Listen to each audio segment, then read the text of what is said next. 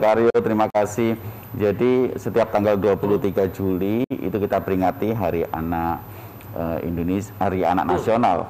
Dan uh, temanya kali ini Anak Terlindungi Indonesia Maju dengan uh, subtemanya, tagline-nya itu Anak Indonesia Gembira di Rumah. Karena uh, tahun 2020 kita paham bahwa kita masuk era uh, pandemi COVID-19. Hmm di mana anak-anak itu lebih banyak tinggal di rumah. Hmm. Proses pendidikan pun dia eh, pendidikan di rumah. Hmm. Untuk itu eh, sekarang ini kita, saya, Pak Nanang, hmm. dan Mbak Helen, Kak Helen itu menginginkan bahwa anak Indonesia bagaimana sih supaya uh, dalam peringatan Hari Anak Nasional ini mereka tetap bergembira ria. Hmm. Dan memang tujuan dari Hari Anak e, Nasional tahun 2020 ini adalah sebagai bentuk penghormatan, hmm. sebagai bentuk perlindungan dan pemulihan hak anak Indonesia sebagai generasi nanti penerus bangsa. Karena memang kalau kita tahu ya pemirsa di rumah kita itu hidup di saat ini itu bukan serta merta kita harus mementingkan kepentingan kita, tapi kita harus ingat bahwa kita nantinya akan mewariskan lingkungan kepada anak-anak kita. Kita bukan mewariskan harta, bukan wariskan uh, bangunan tapi lingkungan hmm. karena kalau lingkungan yang sehat pendidikan yang sehat itu nanti anak juga akan bisa lebih bahagia betul, iya. mandiri iya. betul ya betul betul dan anak itu harus kita pahami terlebih dahulu bahwa anak itu usia hmm? 0 sampai 18 tahun 17 tahun plus juga termasuk anak di dalam kandungan. Hmm. Jadi pada masa kandungan sampai anak 17 tahun. Jadi bagi anak-anak yang mungkin masih berpendidikan dasar SD, hmm. SMP itu juga termasuk anak. Anak ya. Dan itu harus kita lindungi. Jadi kita kasih tahu persepsinya bahwa yang disebut anak itu adalah merupakan yang usia 0 sampai dengan 18 tahun lah ya 17 plus dikit lah ya kalau aku udah nggak masuk nih ayah Nanang uh, ya. kalau misalkan tadi mendengarkan statement dari ayah Andri yang mengatakan bahwa kita tuh punya tanggung jawab loh untuk memberikan anak-anak itu sebuah uh, warisan yang sebenarnya harus kita jaga dari sekarang anak-anak itu harus bahagia kita persiapkan pendidikannya dan lain sebagainya kalau ayah Nanang sendiri ngelihat nih uh, terlepas ya dari tahun 2020 ini emang kayaknya uh, door prize-nya banyak banget ya kan gitu. Hadiah dari Tuhan tuh banyak tuh tahun ini ya. Kalau Ayah Nanang itu melihatnya sejauh ini itu seperti apa keadaan anak-anak kita khususnya tahun ini? Betul. Ayah Nanang gimana? Ya. Uh, Kak Rio, uh, Pak Dr. Andri, jadi Kak Ellen juga teman-teman ini tema tentang anak terlindungi hmm. itu uh, sebenarnya punya makna yang sangat dalam ya hmm. karena berarti kita semuanya pemerintah hmm. uh, masyarakat teman-teman dunia usaha dan anak-anak sendiri itu bagaimana kita sedang berupaya untuk hmm. membuat sebuah lingkungan hmm. di mana anak-anak hasil akhirnya hmm. adalah terlindungi. Ya. Kenapa harus begitu? Karena sebelum kita pandemi hari hmm. ini, sebelum kita Hari Anak Nasional, sebenarnya sedang ada proses hmm. untuk memberikan pemenuhan hak-hak anak, hmm. kemudian juga proses untuk melindungi anak-anak dan proses untuk membuka ruang partisipasi. Tiga hmm. hal itu yang terkait dengan uh, hak-hak anak. Hmm. Ya. Dan bagaimana uh, hari proses itu itu dilakukan oleh pemerintah dengan kebijakan, dengan program, dengan penganggaran dengan menggalang dukungan dari pemerintah dan itu proses itu berjalan.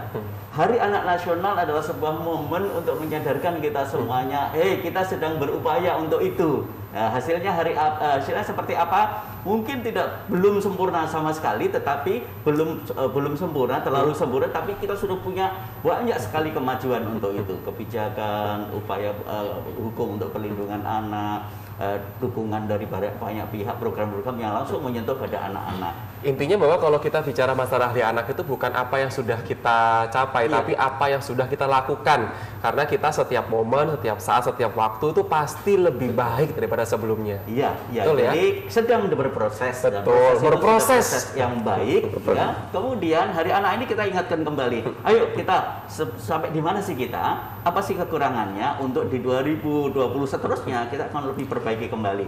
Nah, satu hal adalah hari ini akan spesial karena apa? 2020 ada pandemi mm -hmm. dan itu menjadi uh, pengingat kita bahwa di dalam uh, situasi hak anak itu ada situasi darurat. Darurat itu bisa bencana mm. alam, bisa bencana non alam, bisa bencana sosial dan hari ini kita mengalami pandemi COVID. Betul. Ya, dan situasi darurat itu pernah terjadi. Hari ini terjadi. Mungkin nanti tahun-tahun berapa itu harus terjadi. Hmm. Jadi yang harus kita lakukan sekarang adalah pandemi ini adalah sesuatu yang uh, harus yang terjadi dan harus kita terima. Harus kita terima, kita ya, siap lah. Betul. Dan kemudian bagaimana kita mengelola ini untuk membangun, memperkuat sistem yang sudah ada. Baik, sistem baik. apa? Sistem untuk membangun ketahanan uh, anak, ketahanan keluarga, ketahanan masyarakat. Itu tadi. Betul sekali. Nah, sebelum kita ke Kak Helen ini di rumah, saya juga ingat waktu pas kapan hari kita ngobrol sama hmm. Ayah Andi kan, hmm. hmm. mengatakan bahwa anak itu sekarang sedang diuji uh, karena di rumah saja, Betul. sekolahnya terganggu. Tapi sebenarnya kalau kita bisa melihat dari sisi kacamata yang lainnya, -hmm. itu sebenarnya momen di mana anak bisa lebih akrab dengan keluarganya yang mungkin Betul. dulunya tidak pernah akrab. Betul. Papa pulangnya pagi, mama iya. pulangnya malam, Betul. ya kan? Betul. Jadi ada plus minusnya. Tapi saya mau ke Kailan ya, sebenarnya kayak ke Ayah Andri lagi. Kailan ini kan sebagai fasilitator anak gitu kan ya. Umur berapa sih sekarang ini? Aku tuh penasaran loh. Aku Kak, uh, no, aku sekarang 20. 20. Berarti sudah pernah mengalami fase di mana menjadi anak ya yeah. kan? Betul sekali. Nah, yang saya mau tanya itu kayak gini, kalau Kak Helen ya ngelihat teman-teman Kak Helen atau adik-adiknya Kak Helen lah, sekarang ini sedang kayak gimana keadaannya? Kita pengen tahu dari kita ini kan om-om nih ya kan. Pengen tahu dari sisi kalian gimana ngelihatnya? Uh, kalau dari saya hmm? di masa pandemi ini anak-anak itu uh, banyak yang mengeluh tentang belajar di rumah karena hmm. kemarin uh, dari teman-teman Kementerian Pemberdayaan hmm. Perempuan dan Perlindungan Anak itu juga sudah melakukan survei hmm. yang diikuti hampir seribu anak hmm. dan uh, mayoritas menyatakan bahwa mereka uh, kurang nyaman untuk hmm. belajar di rumah. Hmm. Tetapi di sisi lain eh, anak-anak uh, juga senantiasa menyadari hmm. bahwa uh, dalam kondisi seperti ini mereka dituntut untuk tetap belajar di rumah. Hmm. Maka dari itu uh, kemarin anak-anak juga sudah nih Kak untuk hmm. merumuskan suara anak Indonesia di mana uh, mereka memohon kepada pemerintah untuk bisa memperbaiki sistem pembelajaran secara online seperti itu. Karena kan kita lihat juga ya kemarin itu sempat viral di beberapa media masuk ke TV juga bahwa ternyata mungkin kalau misalkan kita ini punya kuota tanpa batas nggak masalah. Iya. Tapi ada yang di pinggir-pinggiran ya kan sampai ke warung kopi bukan buat ngerokok tapi buat numpang wifi iya, ya. Benar-benar. Nah, uh, Ayah Andri mm -hmm. sebenarnya yang sudah uh, dilakukan oleh Ayah Andri dan teman-teman itu apa sih Ayah Andri untuk yang saat ini ini kan hari anaknya agak beda ya hmm. sama yang tahun-tahun sebelumnya. Iya, benar. Jadi eh, DP3AK Dinas Pemberdayaan Perempuan, Perlindungan Anak dan Kependudukan Provinsi Jawa Timur eh, yang kita lakukan di dalam rangka Hari Anak Nasional ini yang pertama adalah memang kita uh, memberikan informasi yang uh, masif, hmm. memberikan edukasi kepada masyarakat. Kenapa? Karena ketika anak pada masa pandemi, kita harus bisa memahami bahwa hmm. kondisi anak itu adalah uh, rentan. Kondisi anak itu tergantung pada pengasuhnya gitu loh. Kalau tergantung kepada pengasuhnya berarti kita harus uh, pendekatannya bukan kepada anak sebenarnya sebagai objek, kepada pengasuhnya, kepada keluarganya, kepada masyarakat.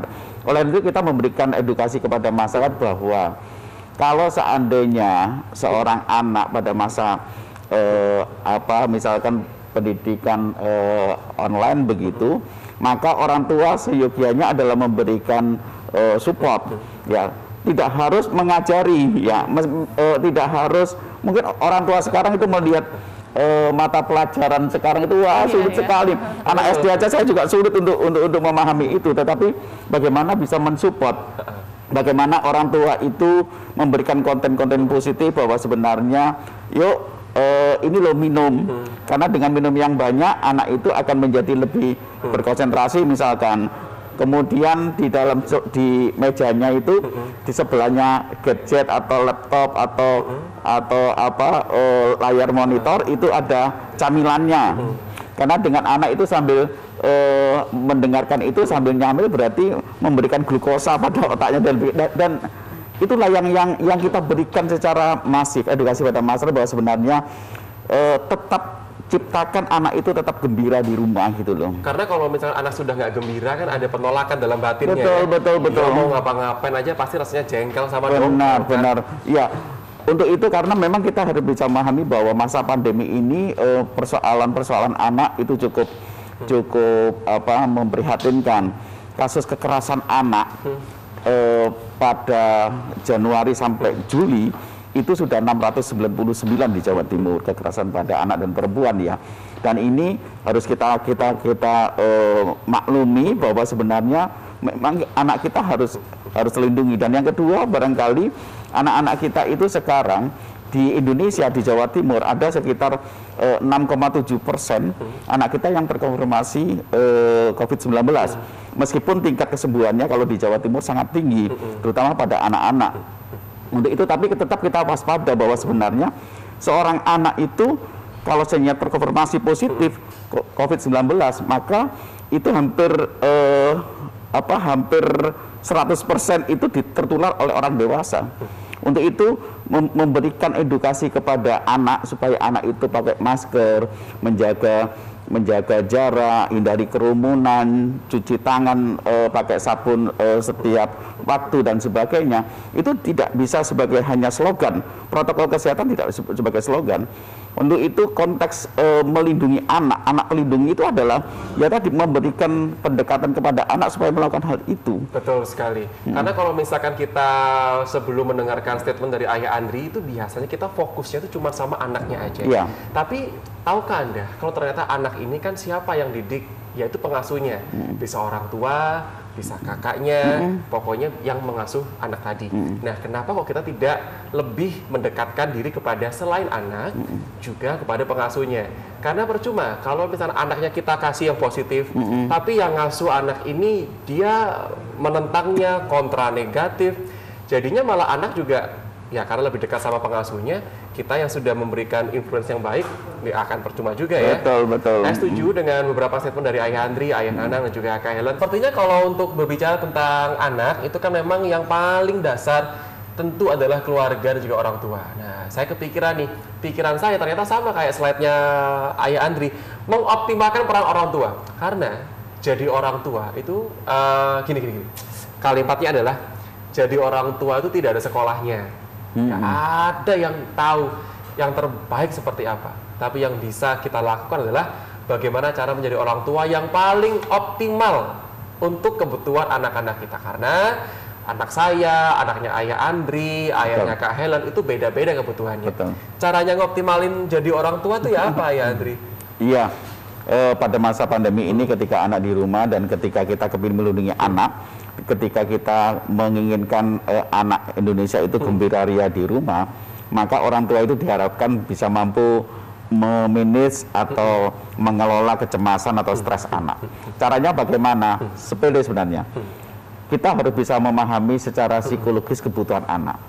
Saya kasih contoh sederhana saja bahwa anak itu sebenarnya eh, dia itu pada usianya dia kepingin contoh, kepingin tauladan jadi kalau seandainya memang e, orang tua itu kepingin anaknya itu makan banyak sayur dan buah-buahan ya, misalkan untuk mendekat imun orang tuanya terlebih dahulu. Pengen itu role model. Betul role model. Jadi jadi kita bisa memahami itu. Yang kedua barangkali anak itu suka sesuatu yang baru, hmm, hmm. contoh yang baru. Nah ini uh, orang tua ketika meng meng mengoptimalkan peran or orang tua di dalam masa pandemi ini maka anak-anak itu diberikan konten yang yang menarik yang baru seperti contoh barangkali misalkan saya kasih sederhana saja ya di bidang ilmu gizi ya bahwa ketika orang tua itu e, mengambil nasi misalkan itu biasa ditaruh di piring. Hmm. Cobalah ditaruh di mangkok dulu. Hmm. Dicetaknya. Hmm. Maka Mari. anak tersebut dia akan kaget. Ini suatu yang baru loh. Apa ini maka ada cetakan baru? Maka dia akan menjadi makan lebih banyak. Ya, jadi suatu yang baru. Misalkan contohnya lagi misalkan orang tua tiba-tiba ada almari yang di dalamnya buku banyak dan sebagainya. Itu di, di, dikeluarkan gitu ya. Dikeluarkan kemudian anak kan bertanya ngapain begitu? Nanya tolong dibantu untuk bagaimana mengatur dan menata ini. Nah, bisa jadi di sana itu ada ada kisah-kisah yang barangkali uh, dulu apa ini? dan sebagainya. Terjadi dialog terjadi komunikasi di rumah. Nah, ini ini contoh-contoh barang sekali untuk meningkatkan mengoptimalkan peran orang tua itu uh, di dalam memanage atau atau mengelola stres anak itu adalah ciptakan konten-konten yang yang baru karena itu itu yang diinginkan anak-anak.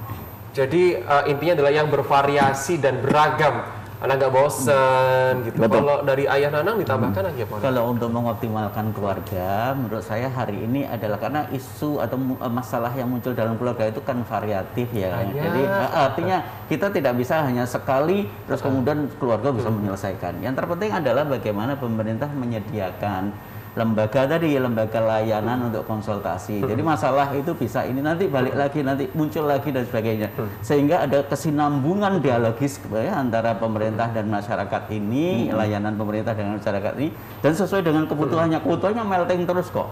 Jadi itu terus terus berkembang sesuai dengan isu-isu yang ini. Jadi hari ini tentang kekerasan, besok tentang uh, kesehatan tadi, kesehatan mental dan sebagainya. Nah, uh, menurut saya optimal itu kalau kemudian seluruh kebutuhannya yang tidak bisa terumuskan saat ini juga hmm. itu selalu akan ada pemerintah akan selalu hadir negara akan selalu hadir untuk membackup keluarga-keluarga di dalam memberikan pengasuhan pada anak. Tapi yang paling saya garis bawah itu uh, di rumah bahwa ternyata anda tuh nggak sendirian karena kan ya, tuh ya, ngiranya ya, bahwa yang paling penting uh, ngiranya kayak aku kudu ke mana ya? Betul. Ada P dua. Dua. TP 2 A. P 2 TP 2 A nah, di Rumah Sakit Bayangkara Surabaya. Ntar waktu pas kita mau buyar programnya nomor teleponnya akan diulangi lagi kok ya. Jadi okay. nanti kalau yang belum ke skip ntar uh, Ayah Andri akan ngasih tahu nomor teleponnya. Kalau dari Kak Helen sendiri itu sebenarnya apa yang mau ditambahkan lagi gitu mungkin? Sekarang silahkan. Uh, sebenarnya yang mau ditambahkan lebih menginformasikan sih hmm. bahwa uh, forum anak ini saat ini sedang banyak kegiatan meskipun uh, di masa pandemi seperti ini. Jadi uh, patut sekali untuk diapresiasi adik-adik kita yang masih bersemangat untuk uh, berkegiatan seperti itu. Kegiatannya uh, seperti mereka melakukan penguatan forum anak di tingkat uh, desa kelurahan, kemudian uh, forum anak ini juga memberikan himbauan kepada sesama anak bagaimana seharusnya kita uh, bersikap di era new normal ini. Kemudian eh, teman-teman forum anak juga sempat uh, membuat survei uh, tentang kondisi anak-anak, kondisi teman-teman mereka di masa pandemi seperti ini. Dan uh, untuk yang terdekat teman-teman di forum anak juga sedang menyiapkan bagaimana mengemas suara anak yang akan mereka sampaikan kepada uh, pemerintah di puncak Hari Anak Nasional tahun 2020 ini. Hmm, baik, baik, baik, baik, baik. Nah, intinya adalah bahwa pemirsa di rumah, kalau misalkan kita tuh pengen berpartisipasi dengan cara apa? Ciptakanlah dari keluarga dulu tuh yang baik. Ciptakanlah dari keadaan antara anak sama orang tua yang baik. Rio saya ini kan biasanya alasannya adalah aku tuh nggak bisa masuk ke dunia anakku iya. karena beda gap salah. Salah itu.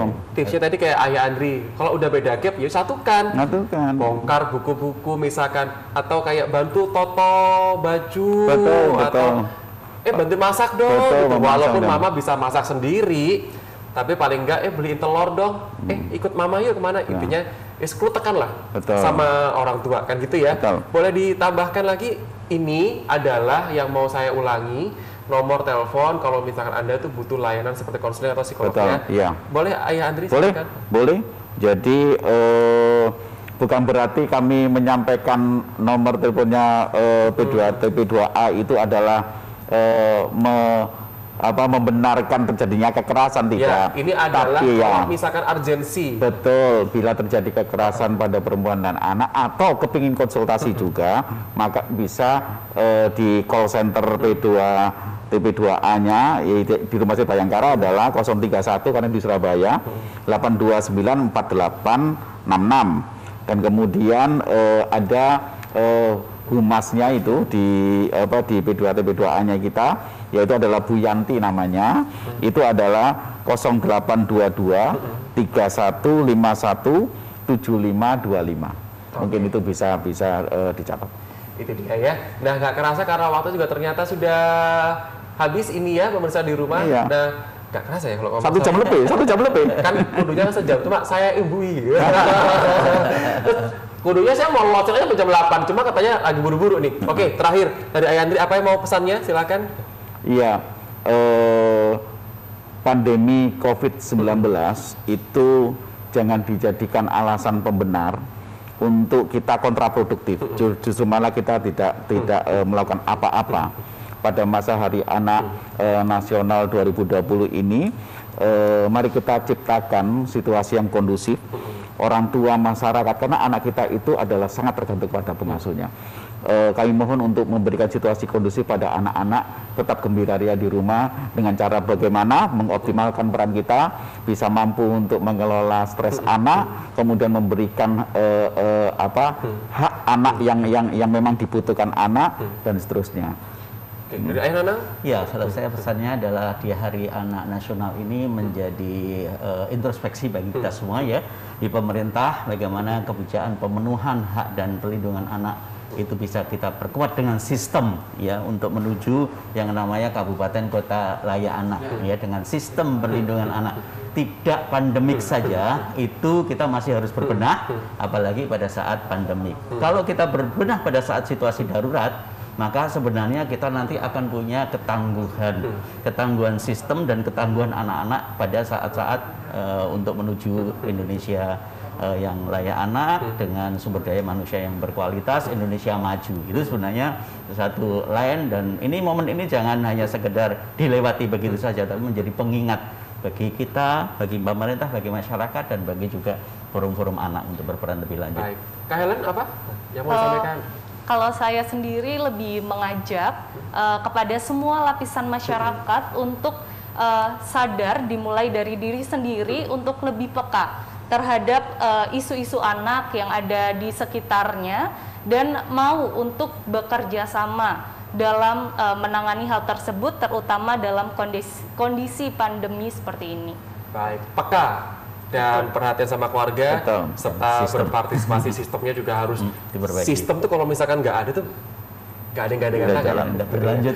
Terima kasih banyak Kak Helen, Ayah Nandang, Ayah Adi, terima kasih banyak. Terima kasih Pemirsa di rumah, kasih, semoga dialog kita pagi hari ini sharing-sharingnya bisa kasih tahu kepada Anda kalau sebenarnya kita tuh tidak hanya bertanggung jawab terhadap anak kita sendiri, tapi anak-anak di Indonesia adalah merupakan tanggung jawab kita bersama.